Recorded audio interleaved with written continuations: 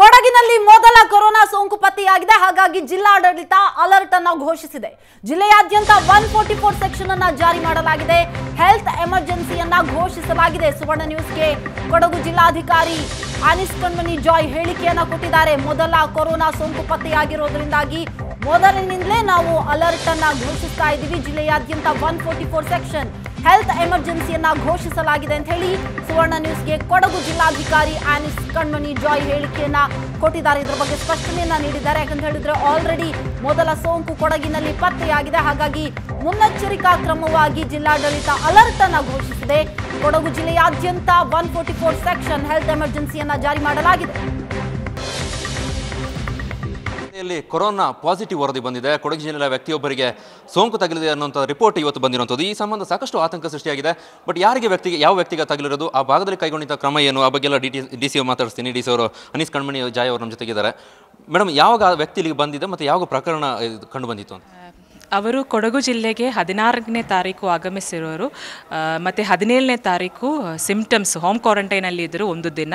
ಅದಾದಮೇಲೆ ಸಿಮ್ಟಮ್ಸು ಬಂದ ಮೇಲೆ ಅವರೇ ಖುದ್ದಾಗಿ ಬಂದು ಡಿಸ್ಟ್ರಿಕ್ಟ್ ಹಾಸ್ಪಿಟಲಲ್ಲಿಗೆ ಭೇಟಿ ಕೊಟ್ಟಿದ್ದು ಕೊಟ್ಟಿದ್ದರು. ಆವಾಗ ನಾವು ಐಸೋಲೇಷನ್ ವಾರ್ಡಲ್ಲಿ ಅವರಿಗೆ ಅಡ್ಮಿಟ್ ಮಾಡಿದ್ದು.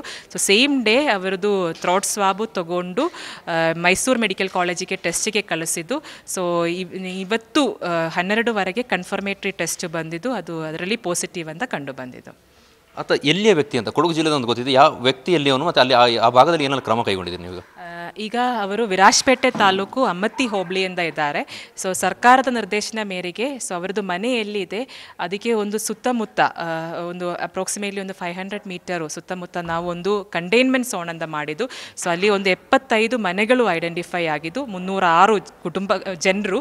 ಸೊ ಅವರಿಗೆ ಈಗ ಸದ್ಯಕ್ಕೆ ಎಲ್ಲೂ ಹೊರಗಡೆ ಹೋಗೋಕ್ಕೆ ಆಗಲ್ಲ. ಮತ್ತು ಅವರದ್ದು ಏನು ಬೇಕಾಗಿರ್ತದೆ ಬೇಸಿಕ್ ಫುಡ್ ಮತ್ತು ಆ ಥರ ಫೆಸಿಲಿಟೀಸ್ ಎಲ್ಲ ನಮ್ಮಿಂದ ಜಿಲ್ಲಾಡಳಿತ ವತಿಯಿಂದ ಕೊಡೋಕ್ಕೆ ಕೂಡ ಒಂದು ಕ್ರಮ ತಗೊಂಡಿದ್ದು ಮತ್ತು ಸುತ್ತ ಒಂದು ಫೈವ್ ಕಿಲೋಮೀಟರ್ ಪೆರಿಮೀಟರಲ್ಲಿ ನಾವು ಬಫರ್ ಝೋನ್ ಅಂತ ಕೂಡ ಮಾಡಿದ್ದು.